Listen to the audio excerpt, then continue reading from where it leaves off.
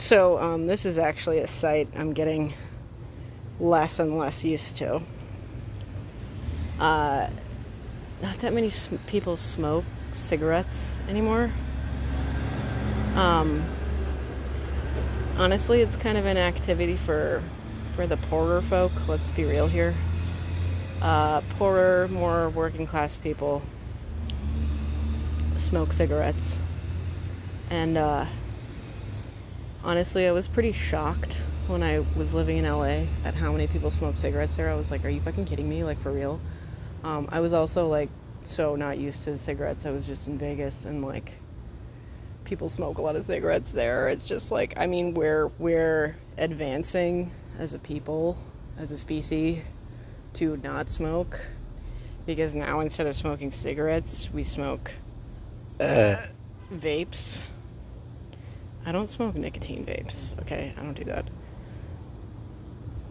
But anyway, yeah, this is just something that I'm like less and less used to, is my point. But it's a thing. You know, it is a thing. And um, I'm against smoking. I don't think that people should smoke. I don't like smoking. But um, it really ain't going anywhere, right? Because we still have this shit. Um, yeah, it's a lot of pollution It's a lot of pollution. Pollutes you a lot.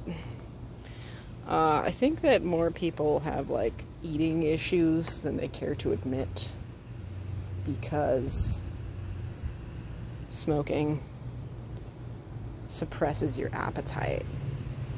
I think that's actually why a lot of people smoke. Believe it or not. I actually did smoke for about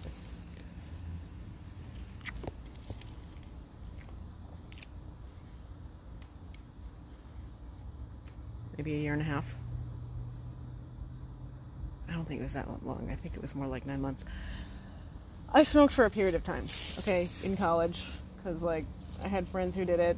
My really good friend did it, and it was just a thing. It also gives you a break, gives you an opportunity to be outside. Like, especially if you're working somewhere stressful, like a fucking restaurant, right? you want an app opportunity to go outside. Better yet, if it's not an opportunity but a necessity. And people who smoke, that one wasn't ripe. Need their cigarettes. I just want to make sure to get the shot. Yes, okay. What else was I saying? They need their cigarettes. Oh, okay, let me tell you. I was like borderline addicted. I was like I was like toeing the line. I really was. I was toeing the line of being addicted and not being addicted. And I was in a connecting flight. I can't remember where exactly, but I was in a connecting flight somewhere. I think it was, I want to say Vegas, but it might have been, might have been Denver Airport. I don't recall. I was in a, an airport, and I saw this gal. I was like, I was like 1920, okay, and cigarette companies need to get people addicted. Let's see if I can get up.